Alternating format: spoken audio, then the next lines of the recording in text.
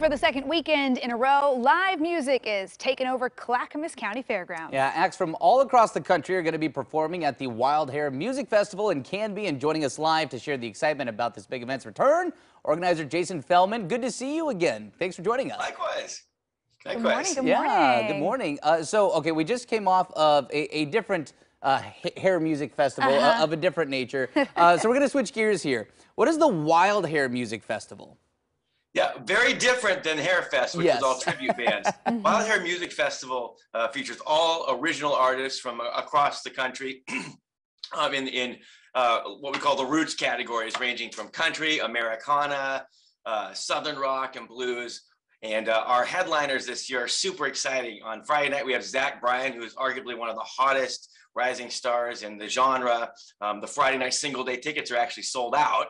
Um, and then Saturday night, we have Grammy nominated Marcus King. Uh, he was nominated in 2020 for his Americana album. Just a crazy good uh, singer, songwriter, and guitar player, next level. And of course, Morgan Wade on Friday night, who uh, was Rolling Stone Magazine's 2020 country album, or 2022, uh, 21 country album of the year, and Lucero um, uh, on uh, Saturday. So it's just a, a really packed lineup full of, of really killer bands. Oh, that is so awesome. Yeah, Mm-hmm. i- if you don't know Zach Bryan's name yet, you've definitely heard his music. Something in the Orange is his song that is like everywhere right now. Gotcha. It topped the charts uh, like early last month, and it's just been one of the songs of the summer, I think. So it, it's going to be a packed house for him Friday night for sure. Let's talk a little bit about the festival in general, though. It's out at the, the Clackamas County Fairgrounds. So uh, in addition to the live music, what can you expect?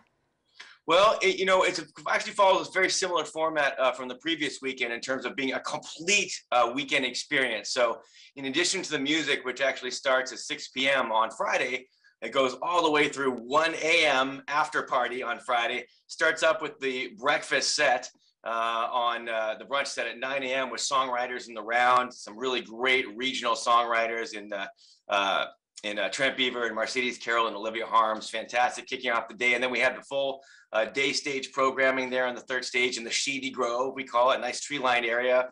Um, and then a full day of music again in the main venue on Saturday going through 1 a.m. again after party. So it's packed overnight camping, RVs, awesome food vendors.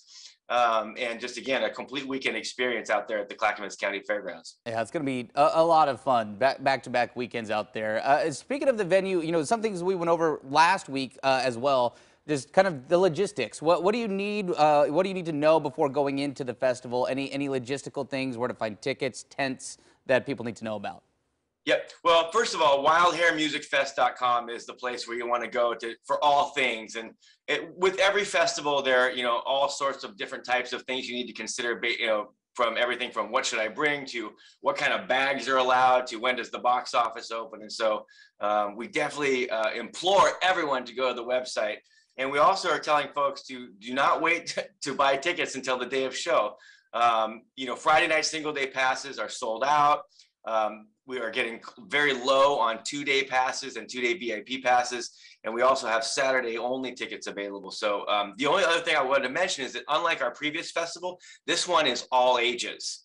So you can actually Mm. bring the family for this one. So that's an important distinction. Awesome. And it was 21 and older, the, the last one for, for Okay. Hairfest. Yeah. So the, yeah. the tribute band festival was sort of the adult summer camp. You know, yeah, right.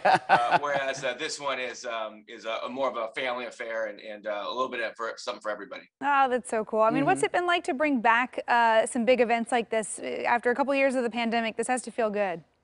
It's really cool, and of course, as we saw in the last segment, the weather has cooperated uh, and it continues to cooperate for the weekend ahead as the temperatures start to cool down. So, I think that you know, with everything that's going on, and even with sort of some of what's going on currently, um, you know, with COVID and all that, having these outdoor events are really fantastic for people to be able to get out and start to sort of get back to what they were used to doing pre-pandemic um, in an area where they feel more comfortable doing so. So I think that's why we're seeing so much traction with events this summer across the board is because people are like, ah, finally we can get out and do this stuff again. And so oh, for Mhm. sure. it really feels good. And the artists are bringing their A game. You know, they've, they've been saving it up and they're kind of, you know, going full steam ahead with that. It's a good point. You do feel that on both sides of the performance, because both the fan and performers, you know, happy they- they- there, too. everybody is equally excited to be there for, for their own reasons, you know, Yeah. coming out of the pandemic. Yeah. So That's great. Yeah, and we're seeing some fan, really the performances that are coming out of this sort of pre-pandemic era reflect that energy. So I think people are going to be pretty stoked on site for this one. Oh, that's awesome. Well, Jason Feldman, organizer of the Wild Hare Music Festival. Again, great to see you and uh, have fun this weekend.